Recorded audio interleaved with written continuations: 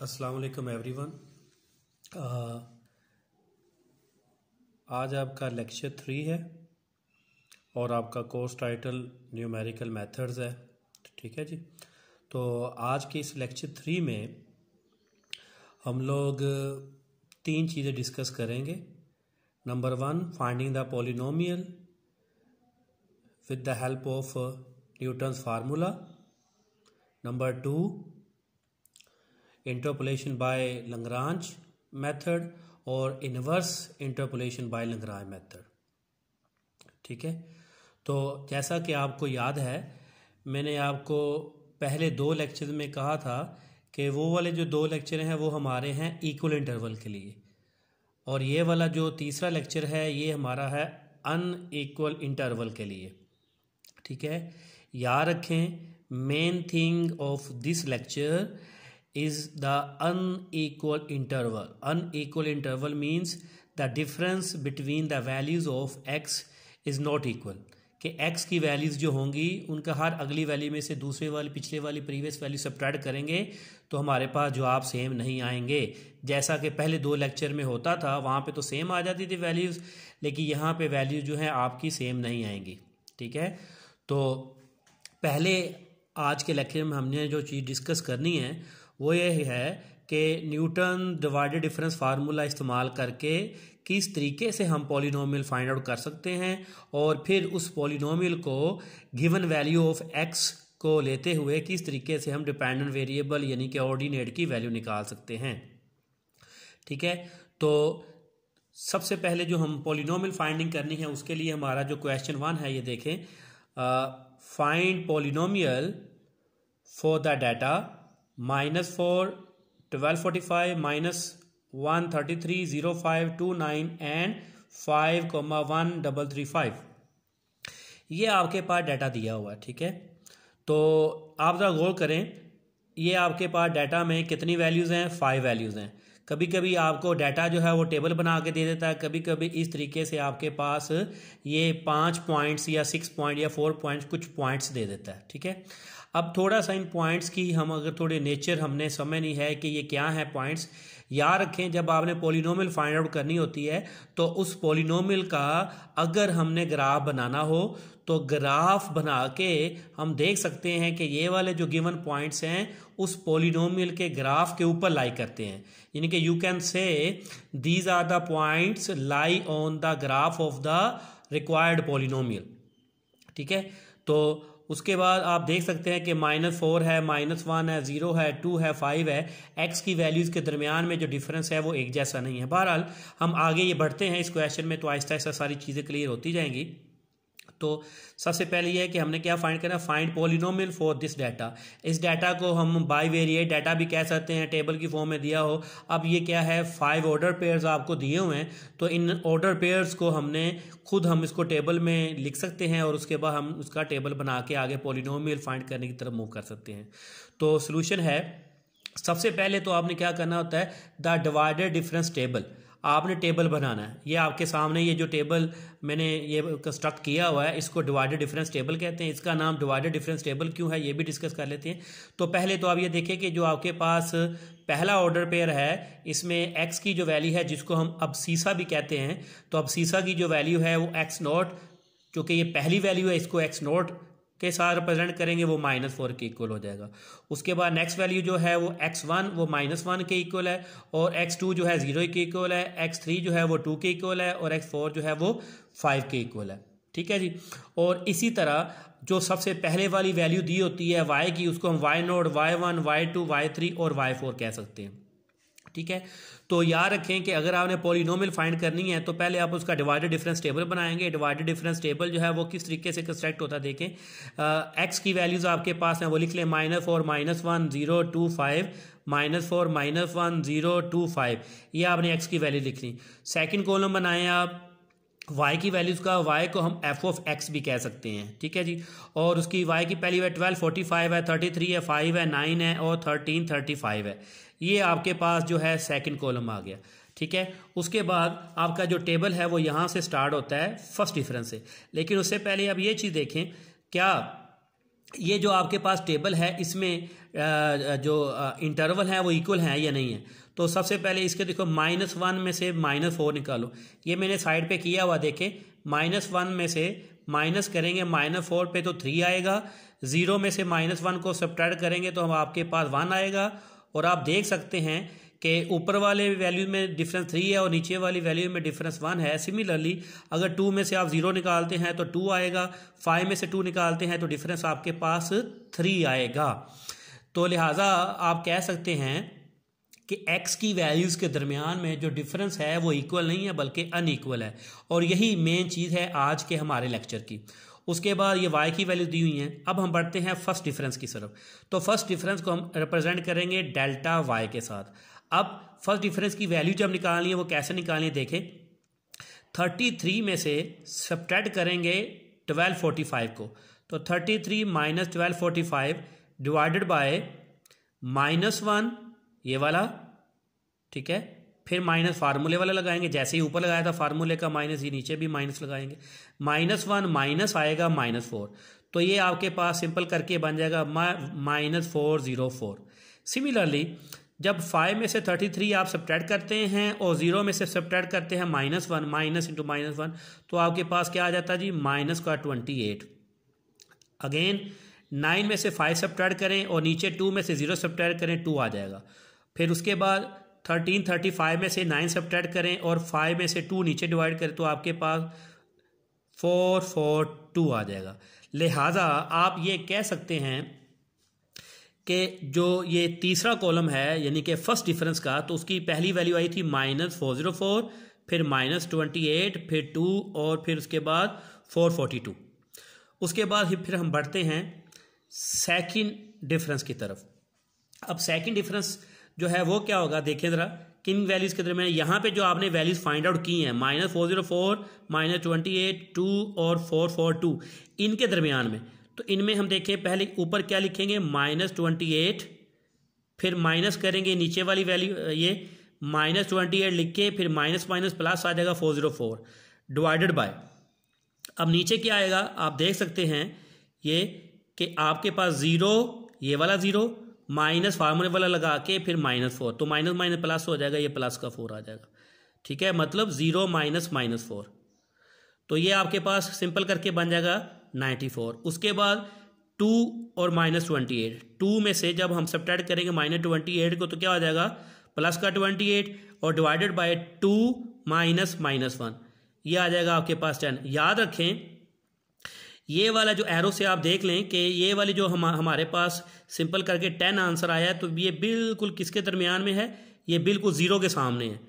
तो इसका मतलब ये है कि इससे ज़ीरो के एग्जैक्ट सामने है, इसका मतलब टू और माइनस वन नीचे जो हम लिखेंगे डिनोमिनेटर में टू माइनस ये वाला माइनस वन आ जाएगा, जो प्लस वन हो जाएगा टेन उसके बाद नेक्स्ट हम क्या करेंगे? फोर फोर्टी टू है और टू है। तो फोर फोर्टी टू में सब सब्ट्रैक्ट करेंगे टू और नीचे ये वाला फोर माइनस ये वाला ज़ीरो, क्योंकि ये वाला जो एरो है, ये वाला एरो ये फाइव और ज़ीरो के दरमियान में है, यानी कि टू के सामने तो इसमें से फाइव में से ज़ीरो सब्ट्रैक्ट करेंगे और आंसर आ जाएगा एटी एट अब आप कह सकते हैं कि आपके पास फ़र्स्ट डिफरेंस में कितनी वैल्यूज़ आई थी फोर और सेकंड डिफरेंस में कितनी वैल्यूज़ आ रही है थ्री जो कि ये है नाइन्टी फोर है टेन है एटी एट है. Ninety four ten eighty eight अब इसके ऊपर थर्ड डिफरेंस के लिए हम चलेंगे तो क्या करेंगे ten minus ninety four divided by क्या है? टू। यानी कि ये वाला जो एरो है, ये किसके दरमियान में है? ये देख लें आप एग्जैक्ट ये होगा टू और फोर के दरमियान में। तो नीचे आ जाएगा टू माइनस माइनस फोर तो वो माइनस माइनस प्लस हो जाएगा, माइनस फोर्टीन आ गया। फिर उसके बाद हम एटी एट में से टेन सब्ट्रैक्ट करेंगे और नीचे आ जाएगा फाइव माइनस माइनस वन। क्योंकि ये वाला जो एरो है, ये फाइव ये फाइव और वन के दरमियान में है तो लिहाजा इस एरो को हम कहेंगे फाइव माइनस माइनस वन तो वो प्लस वन हो जाएगा थर्टीन आ जाएगा। उसके बाद हम ये देख सकते हैं कि थर्ड डिफरेंस में हमारे पास जो वैल्यूज़ आई हैं, वो कितनी आई हैं? अब टू वैल्यूज़ आई हैं।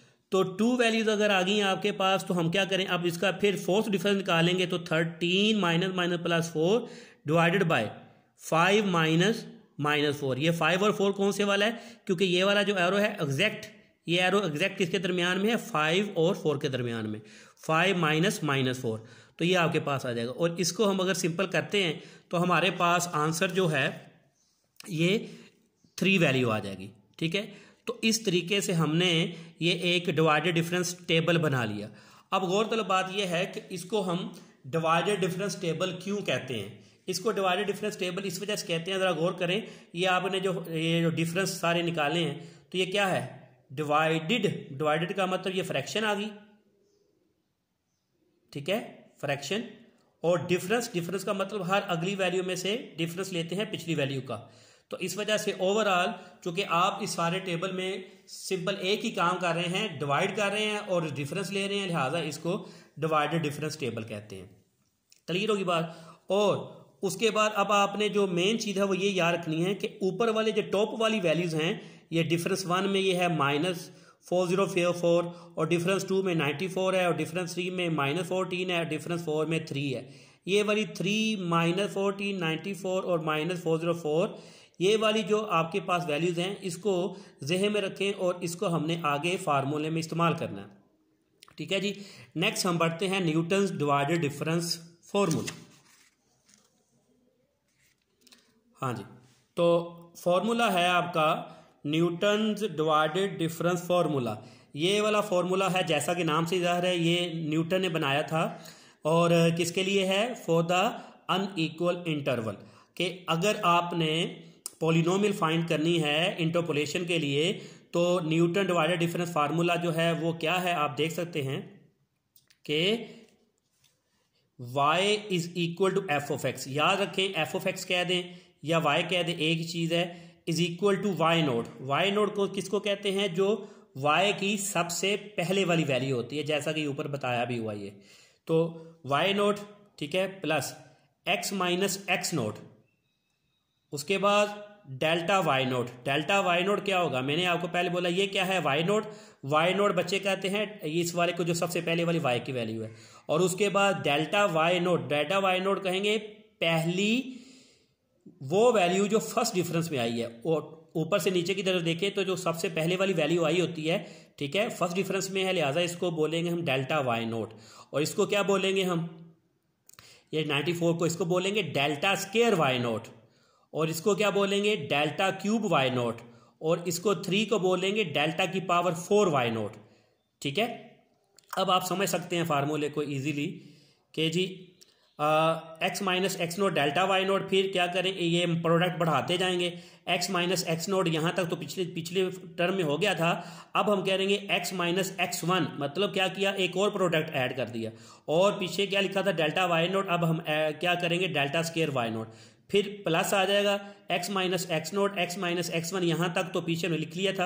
अब क्या करेंगे, x माइनस एक्स टू जो है, इसको एक प्रोडक्ट को न्यू ऐड करेंगे और डेल्टा क्यूब वाई नोट आ जाएगा। फिर similarly plus x minus x naught x minus x one x minus x two x minus x three और एक और आ जाएगा आपके पास डेल्टा की पावर फोर वाई नोट चलिए रोगी बात अब यहाँ पे इन फार्मूले को जरा गौर से देखें हमें जो जो चीज़ चाहिए वाई नोट वाई नोट बच्चे हमारे पास है ट्वेल्व फोर्टी फाइव उसके बाद x naught x naught x minus ये देखे ना यहाँ पे एक्स माइनस एक्स नोट तो एक्स नोट हमारे पास है, यहाँ पे ये दिया हुआ माइनस फोर तो माइनस माइनस प्लस हो जाएगा, लिहाजा हो जाएगा एक्स प्लस फोर और delta y naught delta y naught है हमारे पास माइनस फोर ज़ीरो फोर तो ये लिख लिया आपने डेल्टा नोट की जगह पे minus four zero four plus उसके बाद क्या आ जाएगा, ये वही हो जाएगा एक्स माइनस एक्स नोट अब आपने लिखना है एक्स माइनस एक्स वन आपका जो एक्स वन है वो माइनस वन के बराबर है। लिहाजा अब आपके पास हो जाएगा एक्स प्लस वन और सेकंड डिफरेंस वाई नोट जो है वो मैंने आपको बताया वो नाइन्टी फोर है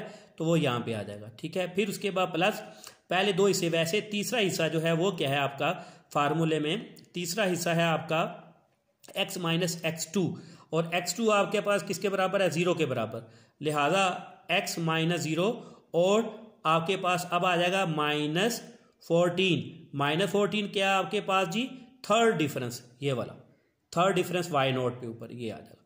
प्लस उसके बाद सिमिलरली क्या करें, ये पहली तीन टर्म में तो वैसी की वैसी हैं। चौथी टर्म जो है ये मैंने यहाँ पे थ्री के बजाय थोड़ा सा नीचे लिख दिया इसको पहले मैं भूल गया, फिर बाद में मैंने इसको लिख दिया तो x minus two x minus two क्या है ये आपके पास? ये है x minus x three x three है आपका जी टू के बराबर। तो लिहाजा टू के बराबर होने की वजह से आ गया एक्स माइनस टू तो आपने सिंपल इस फार्मूले में सारी वैल्यू पुट की और अब आप दे सकते हैं कि वैल्यू पुट करने के बाद सिंपल करने के बाद दो तीन लाइनें आएँगी। सिंपल करने के बाद आपके पास एक राइट साइड पे एक ऐसी एक्सप्रेशन आएगी जो कि अल्जबिक एक्सप्रेशन होगी, जिसको हम कहते हैं पोलिनोमियल तो उसको सिंपल करेंगे तो हम देखेंगे कि हमारे पास ये जो सिंपल करने के बाद पोलिनोमियल का जो आंसर आ रहा है, वो हमारे पास है। y is equal to three x की power four minus five x cube plus six x square minus fourteen x plus five तो ये आपके पास Newton's interpolation formula for the unequal interval वो फार्मूला यूज़ करके हम इस तरीके से पोलिनोमियल फाइंड आउट कर लिए ठीक है जी? और को बस यही पोलिनोमियल फाइंड आउट करनी थी। लेकिन ये मैं आपको वैसे एक्स्ट्रा बात बताने जा रहा हूँ। आंसर तो हमारा आ गया लेकिन अगर आपने वो आपको ये कहे कि एक्स की कुछ वैल्यू आपको दे दे और आपको कहे कि इस एक्स की वैल्यू के ऊपर वाई निकाल लें तो सिंपल अगर आप यहाँ तक पोलिनोमियल तक पहुँच गए हैं तो उसके बाद एक्स की वैल्यू पुट करेंगे तो आपके पास वाई की वैल्यू यानी कि आउटपुट आ जाएगा। तो ये बात क्लियर होगी। तो पहला क्वेश्चन जो है, हमारा मैंने आपको बोला था कि हम तीन चीज़ें डिस्कस करेंगे। तो पहला जो हमारा क्वेश्चन है, जो हमने डिस्कस कर लिया है, उसमें क्या हमने किया जी? कि अगर आपके पास एक्स की वैल्यूज़ के दरमियान में जो डिफरेंस है, वो सेम नहीं है अनइक्वल है मतलब अनइक्वल इंटरवल के लिए तो हमने सबसे पहले क्या करना है, इसके स्टेप नोट कर ले। सबसे पहले हमने डिवाइडेड डिफरेंस टेबल बनाना है। और दूसरा स्टेप ये होगा न्यूटन्स डिवाइडेड डिफरेंस का जो फार न्यूटन डिफरेंस का जो फार्मूला है, वो लिखना है। और तीसरा उसमें वैल्यू पुट करके आपके पास पोलिनोमियल आ जाएगी। ठीक है जी?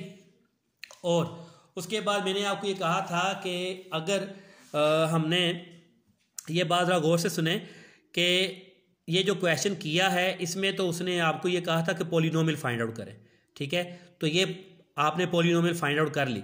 एक हिस्सा हो गया। लेकिन अगर किसी क्वेश्चन में वो आपको ये कहता है कि पहले कहे, आपको पोलिनोमल फाइंड करें, बाद में एक्स की कोई वैल्यू दे दे और कहे कि एक्स की इस वैल्यू के ऊपर वाई फाइंड आउट करें तो आपने क्या करना है? ये जितनी पोलिनोमल जितना ये हमने क्वेश्चन कर लिया है, वहाँ तक क्वेश्चन करके पोलिनोमल फाइंड करके, फिर एक्स की जो वैल्यू उसने दी होगी, वो पुट करेंगे तो वाई आ जाएगा दूसरा हिस्सा भी यहाँ से ही आगे हो सकता है।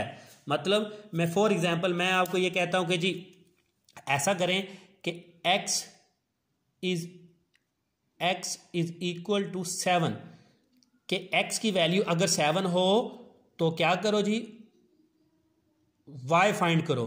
तो ये नहायत ईजी है। पहले अगर पोलिनोमियल फाइंड आउट किया होगा तो इस सेवन को इसके अंदर एक्स की हमें पुट करें तो वहाँ से वाई आ जाएगा। ठीक है जी? अब एक और बात मैं आपको बता दूँ कि अगर चलें, ये आगे डिस्कस करते हैं, ठीक है? ये लगराज में ये बात क्लियर हो जाएगी, ठीक है? अब दूसरा ये है कि हमने पहला टॉपिक का लिया पोलिनोमियल फाइंड आउट करनी थी न्यूटन मेथड से। अब दूसरा जो है, आज का जो टॉपिक है, वो ये है लंगराज इंटरपोलेशन फार्मूला कि लंगराज की मदद से इंटरपोलेशन करनी है तो वो किस तरीके से करनी है? उसके लिए भी हम एक क्वेश्चन करते हैं, ये देखें। ये लिखा हुआ है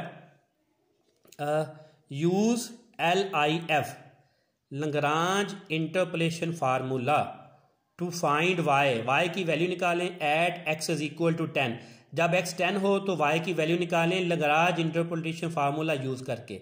इफ़ आपको ये दिया हुआ है टेबल दिया हुआ है फाइव ये बाई वेरिए डाटा कह लें पॉइंट्स कह लें टेबल इसको टेबल की शक्ल में भी लिखा जा सकता है। फाइव ट्वेल्व है सिक्स थर्टीन है नाइन फोर्टीन है और इलेवन सिक्सटीन है। ये आपके पास फोर ऑर्डर पेयर्स दिए हुए हैं। हम इसमें क्या कहेंगे? एक्स नोट क्या है जी? फाइव एक्स वन क्या है? सिक्स एक्स टू क्या है? नाइन एक्स थ्री क्या है? Eleven similarly y naught y one y two और वाई थ्री भी आपने लिख लिए ठीक है? तो ये आपके पास कितने पॉइंट्स दिए हुए हैं? फोर पॉइंट्स दिए हुए हैं। ठीक है? तो इसका मतलब ये हुआ कि अगर आपके पास फोर पॉइंट्स हैं तो इसका मतलब फोर वैल्यूज़ एक्स की हैं फोर वैल्यूज़ वाई की हैं। तो आपको वो क्या क्या रहा है कि आपने वाई की वैल्यू निकालनी है at x is equal to ten तो पहले आप फार्मूला लिखेंगे जी। ये फार्मूला मैं आपके सामने लिखा हुआ है, इसको मैं थोड़ा सा याद करना ये ईजी है, मुश्किल नहीं है, मैं बताता हूँ आपको किस तरीके से करना है। हाँ जी, फॉर्मूला है y is equal to x minus x one आप देख लें कि आपके एक्स जो हैं एक्स नोट से लेकर एक्स थ्री तक आपके पास एक्स है। सिमिलरली वाई नोट से लेकर वाई थ्री तक आपके पास वाई की वैल्यूज़ हैं। तो फार्मूला कैसे ये याद करना याद करना आसान है, मैं आपको टेक्निक बताता हूँ। तो y is equal to x minus x one फिर एक्स माइनस एक्स टू फिर एक्स माइनस एक्स थ्री मतलब हमने यहाँ से किसको मिस किया है? एक्स नोट को मिस किया है। एक्स नोट हमने नहीं लिखा। तो x minus x one x naught को मिस कर दिया। X minus x one x minus x two x minus x three आप ये ऊपर वाले तीनों प्रोडक्ट जो हैं मतलब ये ब्रैकेट्स के अंदर तीन प्रोडक्ट हैं। एक ये वाली प्रोडक्ट है ये वाली प्रोडक्ट है ये वाली प्रोडक्ट है। तो तीनों प्रोडक्ट आपने x minus x one x minus x two x minus x three लिख ली। लेकिन आपने x minus x naught miss कर देना है।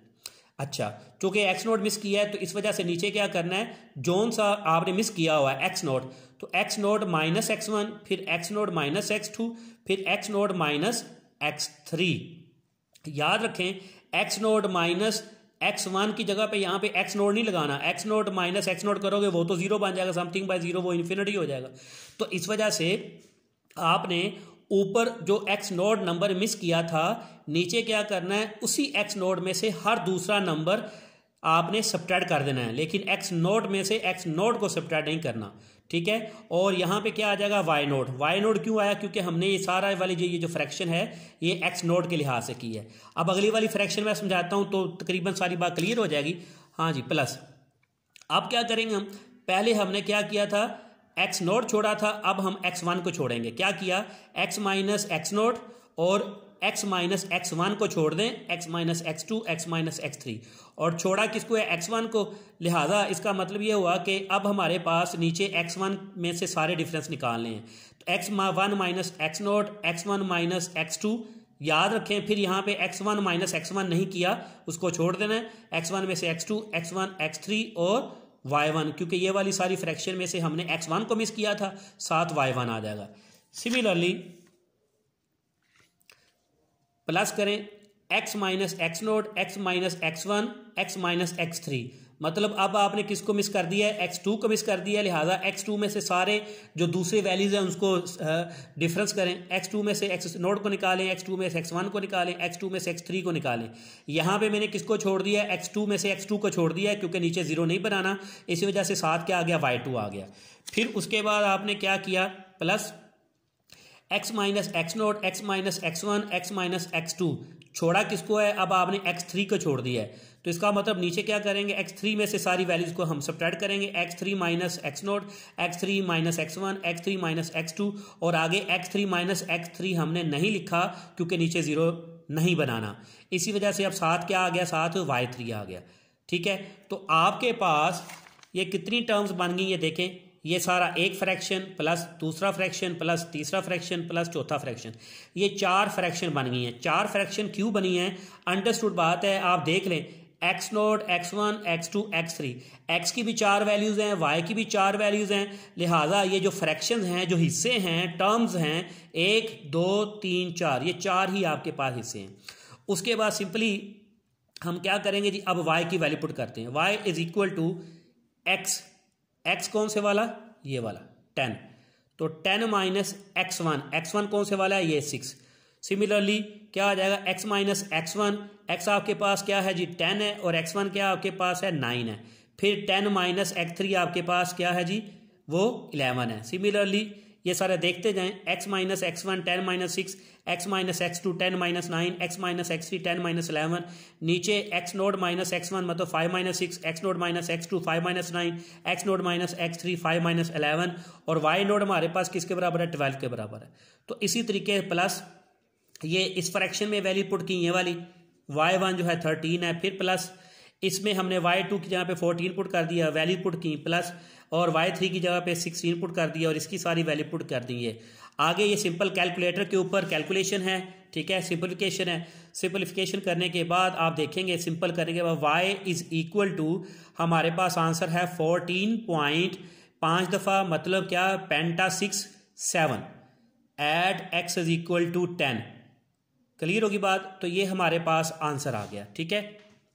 अब, इसमें देखना यह है कि क्या ये जो हमारा बाज़ बच्चे इम्तहान में बैठे होते हैं तो अगर आपने देखना हो कि आपका ये जवाब ठीक है या नहीं ठीक तो उसको हम यहाँ से भी ऐसे देख सकते हैं, देखें कि आपके पास नाइन के ऊपर वाई की वैल्यू फोर्टीन आ रही है और इलेवन के ऊपर वाई की वैल्यू सिक्सटीन आ रही है, ठीक है? जबकि नाइन और इलेवन के दरमियान में ये वाला आपके पास टेन आता है और टेन के ऊपर हमने वैल्यू जो निकाली है, वह है वो फोर्टीन पॉइंट पेंटा सिक्स सेवन ठीक है?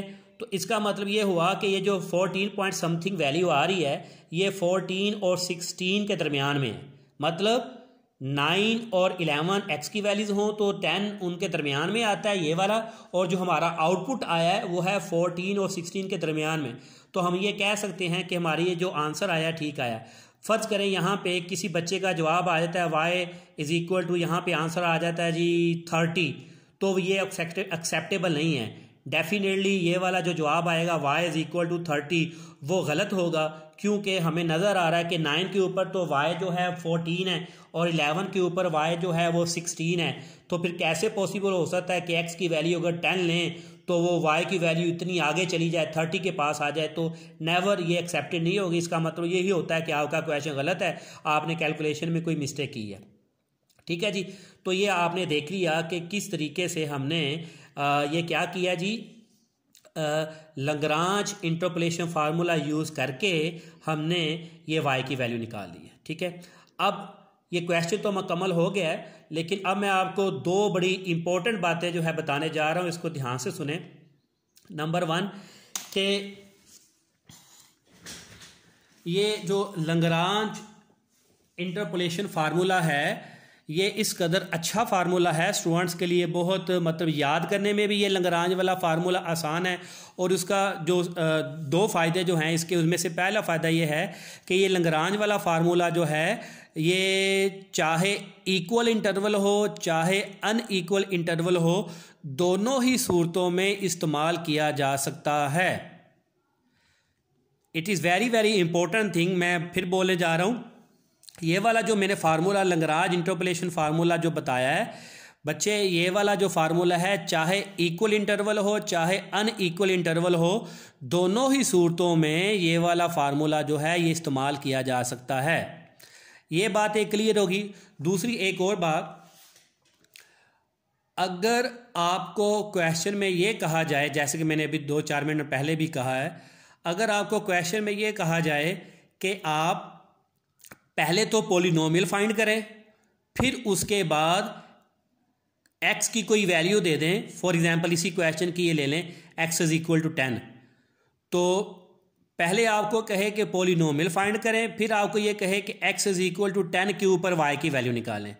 तो तब इस क्वेश्चन को कैसे करेंगे आप? सुनिएगा, गौर से मेरी बात को समझें।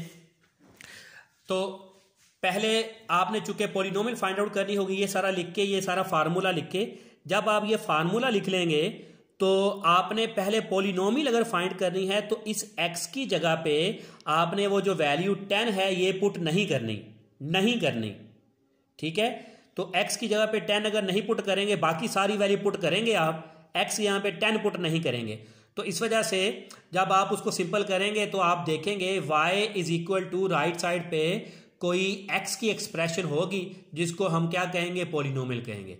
तो इस तरह हमारे पास पहला हिस्सा आ जाएगा। ठीक है? आई रिपीट अगर आपने पोलिनोमियल फाइंड आउट करनी हो तो ये जो लगराज इंटरपोलेशन का ये वाला जो फार्मूला है, इसमें जहाँ जहाँ पे एक्स है, ये वाला एक्स ये वाला एक्स सिंपल एक्स जहाँ पे भी लिखा हुआ है, आपने उसकी जगह पे टेन पुट नहीं करना। टेन एक्स की यहाँ पे पुट किए बगैर उसको आपने सिंपल करना है। तो चूँकि एक्स यहाँ पे आप टेन पुट नहीं करेंगे तो सिंपल करने के बाद आप देखेंगे राइट साइड से एक्स खत्म तो होना नहीं है, क्योंकि एक्स यहाँ पे टेन आपने पुट ही नहीं किया हुआ।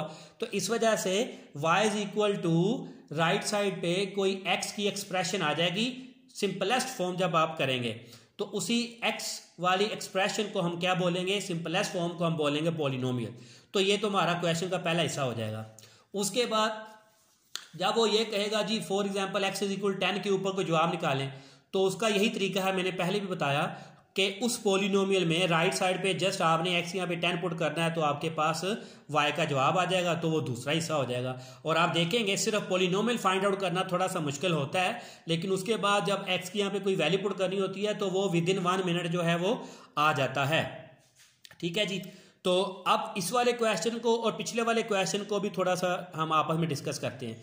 मैंने आपको ये बोला था कि जब किसी क्वेश्चन के दो हिस्से हों, चाहे ये प्रीवियस क्वेश्चन में, चाहे इस क्वेश्चन में, अगर पोलिनोमियल फाइंड आउट करने को कहे तो आपने न्यूटन वाले में न्यूटन वाला फार्मूला लगाना है प्रीवियस वाले सवाल की तरह, और लगराज वाले में लगराज में वाला फार्मूला लगाना है, इस क्वेश्चन की तरह, ताकि पहले एक्स को ख़त्म नहीं करना, ताकि पहले पोलिनोमियल आ जाए। और उसके बाद फिर जो एक्स की वैल्यू दी होती है, चाहे वो न्यूटन का फार्मूला हो, चाहे वो लगराज का फार्मूला हो पहले पोलिनोमियल फाइंड आउट कर लें, बाद में फिर उसकी वैल्यू पुट करें ताकि आपके पास जो है दोनों जो पार्ट्स हैं वो क्लियर हो जाएँगे, ठीक है?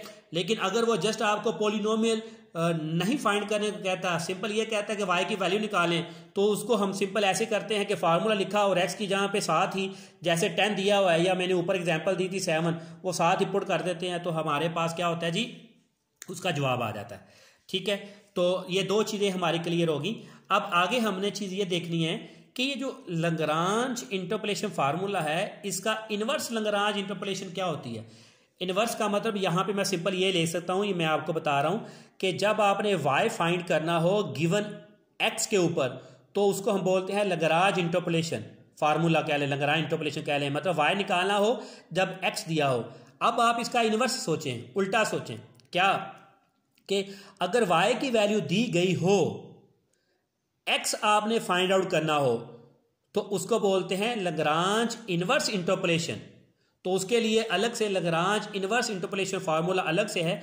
नेक्स्ट जो हमारा क्वेश्चन है, वो यही होगा कि अगर आपको एक्स फाइंड आउट करना हो और वाई की कोई वैल्यू दी गई हो तो तब हमने लगरांज इनवर्स फार्मूला जो है वो यूज़ करना है.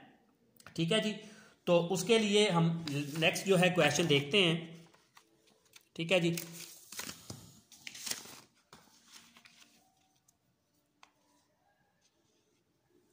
हाँ जी हेडिंग देख लें क्या लिखा हुआ है लगरांज इनवर्स इंटरपोलेशन कि हमने फाइंड एक्स एक्स निकालें at y is equal to thirteen point six four the table अब उसने ऑर्डर पेयर की शक्ल में नहीं दिया हुआ, अब उसने क्या किया है कि टेबल की शक्ल में दे दी है। ठीक है? तो कहता है, अगर एक्स की ये वैल्यूज़ हो और वाई की ये वैल्यूज़ हो तो आप क्या करें जी? आप एक्स की वैल्यू निकालें y is equal to thirteen point six के ऊपर। तो थोड़ा सा पहले इस टेबल को डिस्कस कर लें जी। एक्स थर्टी है थर्टी फाइव है फोर्टी है फोर्टी फाइव है और फिफ्टी है। ठीक है? और वाई की भी कुछ वैल्यू दी है। आप जरा गौर करें एक्स की वैल्यूज़ के दरमियान में जो डिफरेंस है थर्टी फाइव में से थर्टी निकालो तो फाइव फोर्टी में से थर्टी फाइव निकालो तो फाइव फोर्टी फाइव में से फोर्टी निकालेंगे तो फाइव फिफ्टी में से फोर्टी फाइव निकालेंगे तो फाइव ठीक है? इसका मतलब ये हुआ एक्स की वैल्यूज़ के दरमियान में जो डिफरेंस है वो एक जैसा है। ठीक है? तो कोई बात नहीं, अगर डिफरेंस एक जैसा है तो मैंने जैसे कि आपको पहले कहा था, ये जो लफज लगराज है ना, लगराज वाली इंटरपोलेशन जो होती है, ये इक्वल के लिए भी चल जाती है और अनइक्वल के लिए भी चल जाती है। इसमें कन्फ्यूज़ होने वाली कोई बात नहीं है, ठीक है जी? तो इसको हम सोल्यूशन करते हैं। क्या जी? एक्स नोट ये है। X naught x one x two x three x four similarly y naught y one y two y three और वाई फोर ये आपके पास पाँच वैल्यूज़ दी हुई हैं एक्स की। और पाँच वैल्यू जो है ये वाई की दी हुई हैं। ठीक है जी? अब इसका फार्मूला जो है ये देखेंगे और से। फार्मूला क्या है? एक्स इज़ इक्वल टू जाहरी बात है लेफ़्ट साइड पे एक्स आएगा क्योंकि आपने एक्स फाइंड करना है। X is equal to y minus y one y minus y two y minus y three y minus y four तो ऊपर से आपने क्या मिस किया? वाई नॉट तो चूँकि वाई नोट ऊपर से मिस किया है तो नीचे आ जाएगा y naught minus y one y naught minus y two y naught minus y three y naught minus y four, और चूँकि यहाँ पे सबसे वाई नोट मिस किया हुआ है तो यहाँ पे एक्स नोट आ जाएगा। फिर प्लस करेंगे। ठीक है जी? तो फिर क्या आ जाएगा? यहाँ से वाई वन मिस करेंगे। Y minus y naught y minus y one को मिस कर दिया टू आ गया। Y minus y three y minus y four over y one चूँकि मिस किया हुआ है तो वाई वन में से सारे हमने वैल्यूज़ को आप सब्ट्रैक्ट करना है। Y one minus y naught y one minus y two y one minus y three y one minus y four तो चूँकि वाई वन मिस था तो यहाँ पे एक्स वन आ गया। ठीक है जी? उसके बाद फिर प्लस अब बारी आ जाती है वाई टू की। Y minus y naught y minus y one y minus y two miss करके थ्री आ गया फोर आ गया। नीचे वाई टू में सारी वैल्यू सब्ट्रैक्ट कर दें और यहाँ पे क्या आ जाएगा? एक्स टू फिर प्लस अब यहाँ पे वाई थ्री मिस करेंगे, नीचे वाई थ्री के डिफरेंस लेंगे और एक्स थ्री आ जाएगा। फिर उसके बाद प्लस अब हमने क्या करना है? यहाँ पे वाई फोर को मिस करना है और नीचे वाई फोर में से सारी वैल्यूज़ को सब्ट्रैक्ट करना है और साथ एक्स फोर आ जाएगा। ठीक है? अब सो, सोचना ये है बच्चे कि प्रीवियस वाला क्वेश्चन का जो फार्मूला था लंगरांज वाला और इस वाले क्वेश्चन का जो फार्मूला है लंगरांज का इसमें क्या रिलेशन बनता है? इसमें बच्चे ज़्यादा इतनी परेशानी वाली कोई चीज़ नहीं है ये आसान चीज़ ही है। ये फार्मूला, आप ये कह लें कि प्रीवियस क्वेश्चन में जो हमने, प्रीवियस क्वेश्चन बोल रहा हूँ, प्रीवियस क्वेश्चन में जो हमने लगरांज वाला फार्मूला इस्तेमाल किया था, ये वही वाला फार्मूला है, सिंपल क्या है, आपने उस फार्मूले में जहाँ पे वाई था, इस फार्मूले में वहाँ पे एक्स आ गया और उस फार्मूले में जहाँ पे एक्स था, इस फार्मूले में वहाँ पे वाई आ गया। Simple you can say you have just replaced x by y and y by x मतलब एक्स को वाई से रिप्लेस कर दिया वाई को एक्स के साथ रिप्लेस कर दिया, बस। और कुछ नहीं है। और उसके अलावा एक और चीज़ नोट करनी है कि देखो, इस फार्मूले में भी कितने हिस्से हैं, कितनी टर्म्स हैं? वन ये सारा टू ये सारा थ्री ये सारा फोर ये सारा फाइव पाँच टर्में हैं, पाँच हिस्से हैं। क्यों ऐसे हुआ? पाँच हिस्से इस वजह से बच्चे क्योंकि आप देखें एक्स की वैल्यूज़ भी पाँच है वाई की वैल्यू भी पाँच है। जितनी वैल्यूज़ ही होती हैं, जितना डाटा के अंदर वैल्यूज़ हैं, उतनी ही आपके पास टर्म्स बनेंगी। अब आप इस फार्मूले को गौर से देखें। आपको ये कह रहा था, y is equal to thirteen point six मतलब इस पूरे फार्मूले में जहाँ जहाँ पे y है, आप थर्टीन पॉइंट सिक्स जो है पुट कर दें, ये सारा। सब। और y naught y one y two y three y four x naught x one x two x three x four ये सारी वैल्यूज़ जो है इनको भी यहाँ पे पुट आपको देखें, सारे की ज़रूरत पड़ेगी तो इसमें पुट कर दें। तो इस फार्मूले में ये जब सारी वैल्यूज़ आप पुट कर देंगे ठीक है? तो उसके बाद सिंपल आपने कैलकुलेशन करनी है। कैलकुलेटर यूज़ करना है। अच्छे तरीके से कैलकुलेटर यूज़ करना आना चाहिए। क्योंकि मैंने बारहा दफ़ा ये कहा है कि नमेरिकल में आपको कैलकुलेटर अगर यूज़ करना नहीं आता तो उसका ये सज़ा आपको मिलती है कि पेपर में अगर आपको क्वेश्चन आते भी होंगे तो आप पूरा पेपर अटैम्प्ट नहीं कर सकते होंगे, क्योंकि अगर आप अच्छे तरीके से कैलकुलेटर इस्तेमाल नहीं करना जानते। तो इस वजह से बेहतर है कैलकुलेटर अच्छे तरीके से आप इस्तेमाल करना जानते हो, और उसके लिए बेहतर यही है, ज़्यादा से ज़्यादा क्वेश्चन को सोल्व करें। अच्छा बहरहाल इसमें सब में जब आप ये वाली वैल्यू जो है जब पुट कर देंगे तो आंसर आपके पास आ जाएगा x is equal to forty three point one अब सवाल ये पैदा होता है, क्या हमारा ये जो जवाब आया, ये ठीक है या नहीं ठीक? तो पहले तो ये चेक करो कि y is equal to thirteen point six कहाँ पर है? Y is equal to thirteen point six y कहाँ पर देखे जी, ये फिफ्टीन पॉइंट नाइन है फोर्टीन पॉइंट नाइन है फोर्टीन पॉइंट वन है थर्टीन पॉइंट थ्री है। तो तकरीबन थर्टीन पॉइंट सिक्स जो है, इन दोनों वैल्यूज़ के यहाँ पे दरमियान में कहीं ना कहीं आ रहा है। ठीक है जी? ये हमें वाई गिवन था। तो उस लिहाज से जब हमने एक्स निकाला है, वो आया फोर्टी थ्री पॉइंट वन तो वो तकरीबन फोर्टी थ्री पॉइंट वन ये जो जवाब आया, ये आया फोर्टी और फोर्टी फाइव के दरमियान में। तो हम कह सकते हैं कि तकरीबन फोर्टी और फोर्टी फाइव के दरमियान में ये जवाब आया है, क्योंकि जो वाई की वैल्यू थी, ये थर्टीन पॉइंट सिक्स ये इन दोनों के दरमियान में थी। यहाँ पे। तो इसका मतलब ये हम कह सकते हैं कि ये आंसर हमारा जो है अप्रोक्सीमेटली ये ठीक है, इसमें कोई मसला नहीं है। ठीक है जी? तो ये वाला जो है, आपने तीसरा जो है टॉपिक जो है, आज वाले लेक्चर का आपने कर लिया है। ठीक है? तो फिर इसमें भी मैं वही बात कहूँगा। ठीक है? दो दफ़ा पहले भी कह चुका हूँ, अब तीसरी दफ़ा मैं यही बात कह रहा हूँ। अगर ऐसे हो जाए, वो आपको ये कहे यहाँ पे फाइंड पोलिनोमियल पहले कहे पोलिनोमियल निकालो, फिर उसके बाद दूसरा हिस्सा ये आए कि थर्टीन पॉइंट सिक्स के ऊपर एक्स की वैल्यू निकालो। तो तब आपने क्या करना है? ये सारा लिख के, ये सारा लिख के, ये सारा लिख के तो जब आपने पोलिनोमियल फाइंड आउट करनी होगी तो आपने ये जो वाई की वैल्यू है ना थर्टीन पॉइंट सिक्स ये जहाँ पे, जहाँ जहाँ पे भी वाई है, वहाँ पे फिर आपने वाई की वैल्यू थर्टीन पॉइंट सिक्स को पुट नहीं करना। उसको पुट किए बगैर सिंपल करना है। जब आप सिंपल कर लेंगे तो आप देखेंगे सिंपलेस्ट आपकी जो फॉर्म होगी, वो होगी एक्स इज़ इक्वल टू यहाँ पे राइट साइड पे कोई ना कोई वाई की शक्ल में कोई एक्सप्रेशन होगी, कोई अल्जब्रिक एक्सप्रेशन होगी, जिसको हम क्या कहते हैं? पोलिनोमियल कहते हैं। ठीक है जी? तो वो जो आपकी पोलिनोमियल होगी, ठीक है x is equal to right side पे कोई वाई की अल्जब्रिक एक्सप्रेशन होगी, वो हमारे पास पोलिनोमियल है। ठीक है जी? वो तो क्वेश्चन का पहला हिस्सा हमारा पूरा हो जाएगा। दूसरा हिस्सा क्या है? फिर आप क्या करेंगे? राइट साइड पे जो पोलिनोमियल में वाई की वैल्यू वाई आपको नज़र आ रहा होगा राइट साइड पे x is equal to something in the form of y तो वहाँ पे आप फिर 13.6 को जब पुट करेंगे तो आपके पास एक्स की वैल्यू आ जाएगी। और वो भी एक्स की वैल्यू जो आएगी, वो तकरीबन यही वाली मतलब यही होगी। इसमें कोई ज़्यादा फ़र्क नहीं होगा। 13.1 ठीक है? तो यही वाला आपका जवाब आ जाएगा। ठीक है? तो आज के तीनों टॉपिक में ही ये चीज़ मैंने बार बार बोली कि अगर दो हिस्से आ जाएँ मतलब पहले पोलिनोमियल और बाद में फिर गिवन वैल्यू के ऊपर तो पोलिनोमियल फाइंड आउट करने के लिए सिंपल ये होता है कि वाई या एक्स को वैसे का वैसे ही राइट साइड पे चलने देते हैं और जब पोलिनोमियल बन जाती है, फिर बाद में उसको पुट कर देते हैं। लेकिन अगर आपको वो पोलिनोमियल फाइंड आउट ना करने को कहे सिंपल जैसे ये वाला क्वेश्चन किया है तो उसमें जस्ट क्या होता है, आपने पहले फार्मूला लिखना है और फार्मूला लिखते ही फ़ौरन सारी वैल्यू पुट कर देनी है। ये वाली सारी पुट कर देनी है और साथ थर्टीन पॉइंट सिक्स भी सारी पुट कर देनी है, ताकि पोलिनोमल हम फाइंड ना करें और डायरेक्ट उसका जवाब आ जाए हमारे पास, जैसे कि इस क्वेश्चन में किया। ठीक है? तो आई होप आज हमने जो तीन चीज़ें की हैं न्यूटन फॉर्मूला की मदद से पोलिनोमियल फाइंड आउट करना फॉर अनइक्वल और उसके बाद लंगराज वाला जो है मेथड वो इक्वल के लिए भी होता है अनइक्वल के भी होता है, और उसमें पहले डायरेक्ट वाली लंगराज इंटरपोलेशन की, जिसमें वाई फाइंड आउट करते हैं एक्स गिवन होता है, और उसके बाद इन्वर्स वाली इंटरपोलेशन की लंगराज की, जिसमें एक्स फाइंड आउट करना होता है वाई गिवन होता है, ठीक है? तो अब मैं आपको इसके रिलेटेड जो एक्सरसाइज है क्वेश्चन है, वो बताता हूँ। वो वाले क्वेश्चन जो हैं आपने करने होंगे। इसकी एक्सरसाइज जो है